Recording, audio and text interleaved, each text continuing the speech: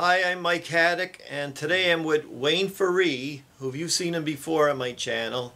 He was a stone carver at the Washington National Cathedral. And a few months back, he was doing this stone carving. And then finally, I got to come up to his shop. And today, he's going to show us about his tools, the way they did it in the old days and the way they do it today. But also, he did a rabbit bench and he started his own YouTube channel. So I want you to go and subscribe to him. And he's going to show you some of his carvings and anything new he does. He's going to uh, carve a gargoyle in the future, right? Mm-hmm. This is the real thing. The guy knows how to carve a gargoyle. He worked on cathedrals, right? So today we're just on my channel, just gonna he's gonna show us the tools, and I'm gonna show you what's going on in his other channels. He's got the the bench, right? You carved the rabbets out of the bench. Then he glued the bench together and he used uh, steel pins and glues. And then he did the legs and he did uh, showed you how to uh, rock face a stone.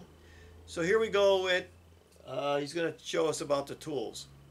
Hi, I'm Wayne Ferree and we're going to talk about tools today, stone carving tools, mostly chisels.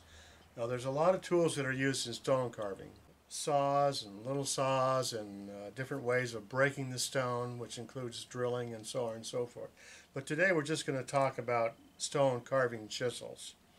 Now, the beginner would start out with a set of tools like this, which just have a regular end that's used with a hammer. Now these tools were purchased by me years ago through Sculpture House in New York City. And uh, you just simply use it like this. And I used those for years, and then when I went to work for the National Cathedral, uh, they had these air hammers. Air-driven hammers are called pneumatic hammers. And they've got a piston inside that is run by air and that piston goes back and forth. And the modern tools which actually aren't that modern they've been used for many decades they slip right in here and then the piston inside pounds them. And so you're basically just holding this is your hammer and this is your tool and you're letting the air push the tool. And you're just guiding the tool.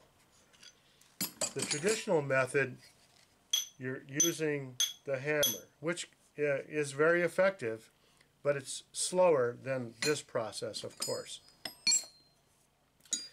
Now, uh, you can use several different methods for pounding a traditional chisel.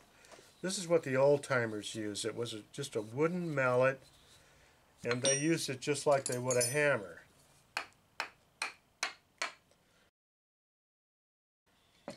And here's another tool that can be used. This is uh, used for stone as well. But I prefer a regular hammer.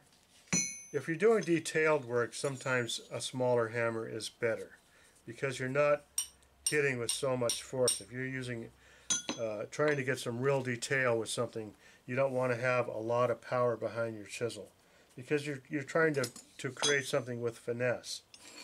And so we have a lot of specialty tools that are built for the air-driven hammer and if you get a close-up look at those. There are different shapes that can be used to perform different tasks as far as getting shape the shape you want. There's tools that are cupped, they're called gouges different sizes.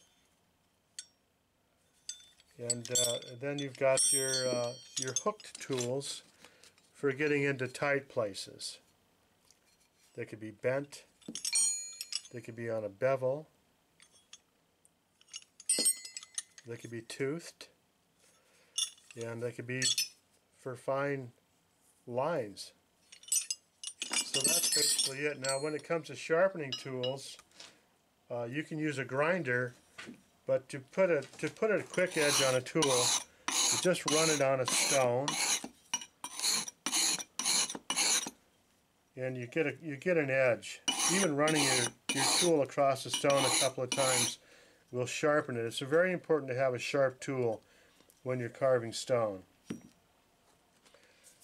Uh, so that's that's how uh, hand tools are motivated in this day and age with an air hammer. Okay, we talked about stone tools. Basic tools, hammer and chisel, the traditional way, a lot of elbow grease involved. And then we talked about the modern way, which is with an air hammer, a pneumatic hammer. Goes into your hose like that. You've got a valve that controls the air pressure. And you've got a little hole here that you can slow the volume down when you're trying to do something delicate. Now, what we've done here is we've carved a duplicate carving of a carving that was done by a novice, or my son in this case, years ago. And we're going to make a mate to that, which could be used uh, as a decorative bookshelf art or placed into a wall, a masonry wall. We're going to use the tools that we talked about and show you how we use them. So if you want to learn more about that, go to my YouTube channel and check it out.